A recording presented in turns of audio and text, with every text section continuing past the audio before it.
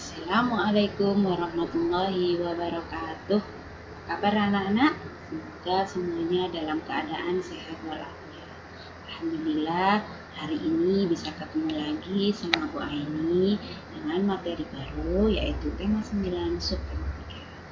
Sebelum Bu menyampaikan pelajaran, marilah kita tawasul terlebih dahulu kepada Nabi Muhammad, para suhada, para sahabat, dan kepada keluarga kita yang telah mendahului kita. Semoga semuanya amal ibadah diterima oleh Allah Subhanahu wa taala. Sama-sama ya angkat tangannya. La ada nabi nabi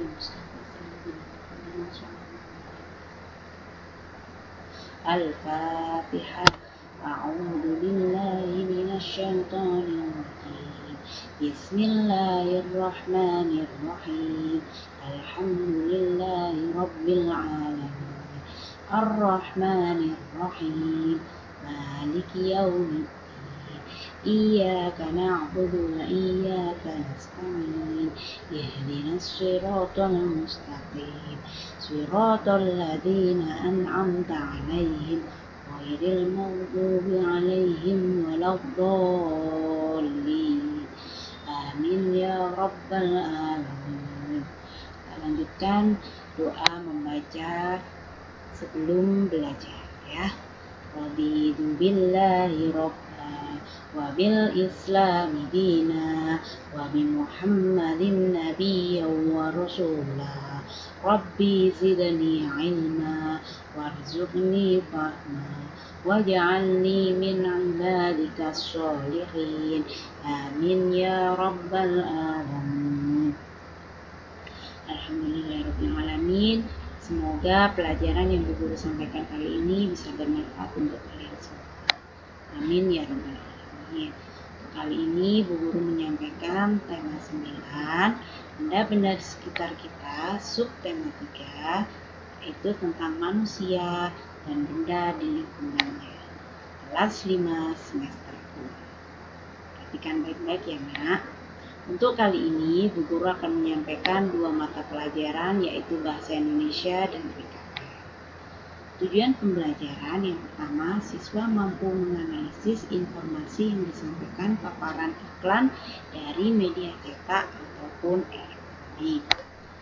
Tujuan yang kedua yaitu siswa dapat menggali manfaat persatuan dan kesatuan untuk membangun kerukunan hidup guru masuk pelajaran BI dulu tentang iklan.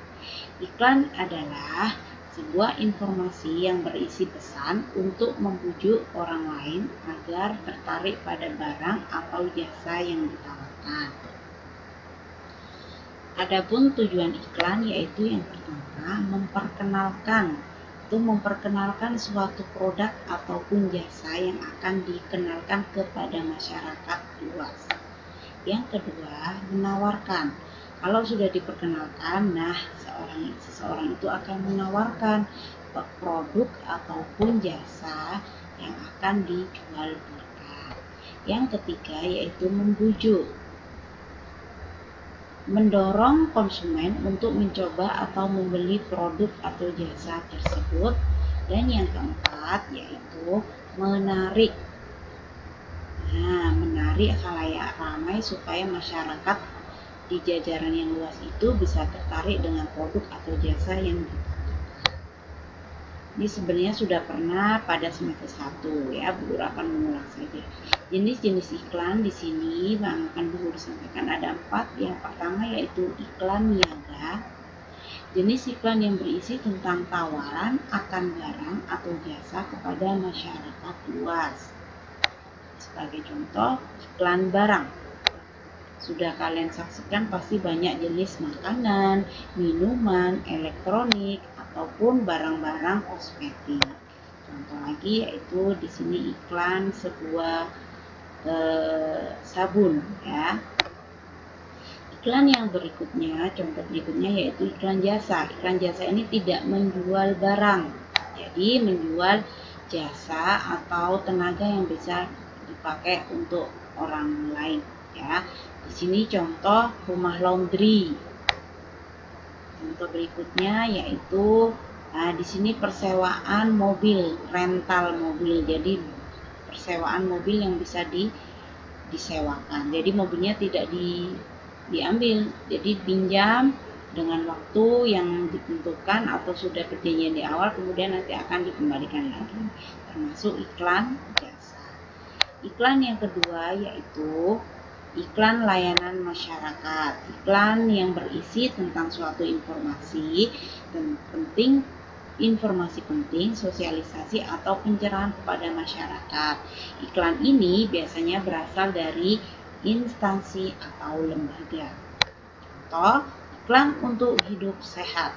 Nah, hidup sehat tanpa merokok. Di sini iklan layanan masyarakat. Juga ada lagi contoh cuci tangan pakai sabun. Sekarang banyak ya tentang contoh-contoh iklan layanan masyarakat. Kemudian iklan yang kedua, salah satu contoh iklan layanan masyarakat yaitu iklan aturan patuh mematuhi layar lalu lintas. Nah, di sini contoh, ayo patuhi lalu lintas. Itu termasuk contoh iklan layanan masyarakat. Iklan berikutnya yaitu iklan yang ketiga, iklan pengumuman. Iklan ini berisi informasi atau pengumuman untuk disampaikan kepada masyarakat. Contoh, iklan event atau acara. Ada acara-acara tertentu itu termasuk iklan. Di sini ada pameran buku, contohnya iklan pengumuman. Kemudian iklan berita duka cita ya. Di sini termasuk iklan pengumuman. Iklan yang keempat yaitu iklan permintaan. Berisi tentang pihak yang mengiklankan untuk menawarkan atau mengajak masyarakat yang ingin bekerja dengan mereka. Contoh, iklan lowongan lowongan pekerjaan.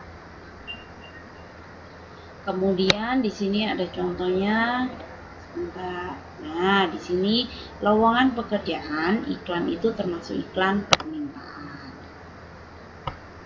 Yuk kita tebak ya nak, di sini termasuk iklan apakah itu? Yang pertama, di sini berita duka, berarti termasuk iklan pengumuman. Contoh yang kedua, di sini menawarkan tentang makanan, termasuk iklan niaga yang produk ya, bukan jasa. Kemudian di sini ada social distancing yang pernah kalian lihat eh, sekarang banyak iklan-iklan di sini tentang iklan layanan masyarakat. Berikutnya, di sini Nah, dibutuhkan. Nah, berarti termasuk iklan permintaan lowongan kerja ya. Iklan berikutnya, contoh lagi, di sini ada lomba konten kreatif. Nah, berarti di sini suatu acara, termasuk iklan pengumuman. Iklan berikutnya hemat energi, matikan lampu, termasuk iklan layanan masyarakat. Iklan yang terakhir di sini ada ya jasa pencucian mobil. Jadi termasuk iklan niaga khusus yang jasa, bukan produk atau barang. Guru lanjutkan pelajaran PPKN tentang persatuan dalam kerukunan. yaitu menerapkan dalam kehidupan sehari-hari di lingkungan rumah, lingkungan sekolah, dan di lingkungan masyarakat.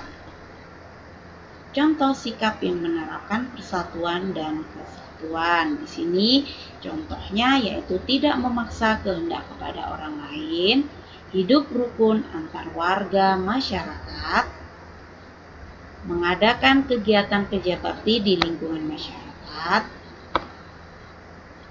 mengembangkan sikap tenggang rasa, tidak membeda-bedakan suku, ras, dan agama dalam bergaul.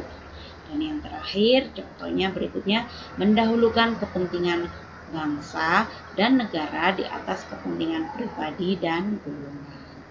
Nah, dari contoh-contoh di sini, apabila tidak dilaksanakan menimbulkan akibatnya. Nah, apa itu akibatnya? Yang pertama, terjadinya permusuhan, terjadinya perselisihan, tidak peduli dengan orang lain, kemudian hilangnya tenggang rasa dan toleransi, kemudian melemahnya persatuan dan keaga, keamanan bangsa, serta terjadinya pertengkaran dan kekurangnya keakraban. Nah, di sini upaya apa yang bisa kita wujudkan agar persatuan dan kesatuan bangsa terwujud?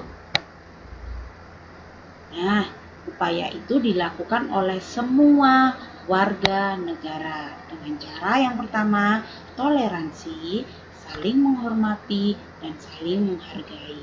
Di manakah dilakukannya? Di semua lingkungan dalam kehidupan sehari-hari di mana pun berada.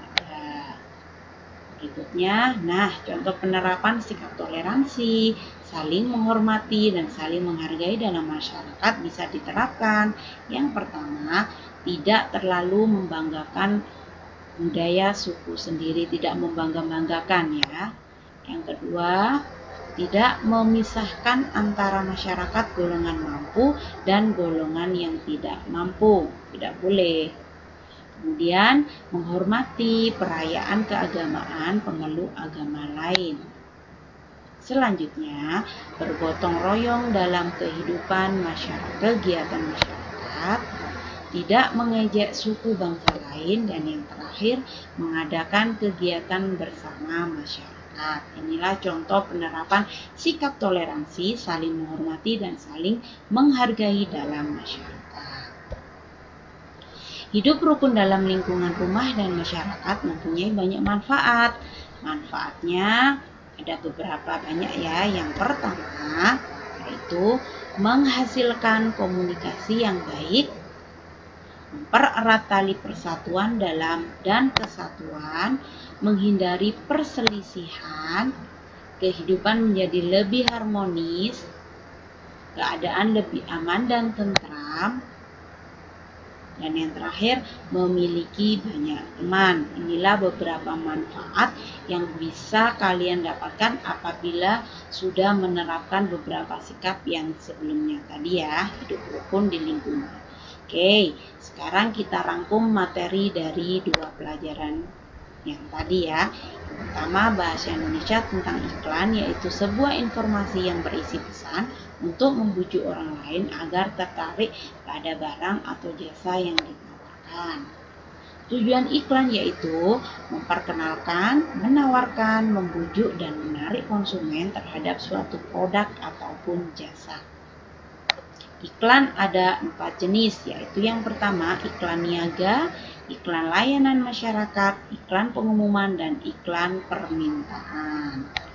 Rangkuman berikutnya tentang PKN yaitu persatuan dalam kerukunan diterapkan dalam kehidupan sehari-hari di lingkungan rumah, sekolah, ataupun di lingkungan masyarakat. Upaya untuk mewujudkan dengan cara menerapkan toleransi, saling menghormati, dan saling menghargai di mana pun berada. Adapun manfaatnya, kehidupan menjadi harmonis, keadaan menjadi aman, tentram, memiliki banyak teman, dan menghindari perselisihan. Dari ketiganya itu, apabila tidak dilaksanakan, ada akibatnya terjadi pertengkaran, perselisihan, permusuhan, tidak peduli dengan penderitaan orang lain, dan melemahnya pertahanan dan keamanan. Itulah rangkuman materi yang dapat Bu Guru sampaikan. Terima kasih materi kali ini sudah Bu Guru sampaikan. Semoga bermanfaat. Sebelum Bu Guru tutup, marilah kita membaca doa agar pelajaran yang Bu Guru sampaikan kali ini bisa bermanfaat untuk kalian semua. Bu Guru bersama-sama ya membaca surat. Bismillahirrahmanirrahim. Wal ashr. Innal insana lafi khusrin illa illa alladhina amanu wa amilus solihati wa tawasaw bil haqqi wa tawasaw bis sabr. Alhamdulillahi Rabbil Alamin. Alhamdulillah, sampai jumpa di pelajaran berikutnya. Semoga bermanfaat. Mohon maaf apabila ada kesalahan. Bu Guru akhiri. Wassalamualaikum warahmatullahi wabarakatuh.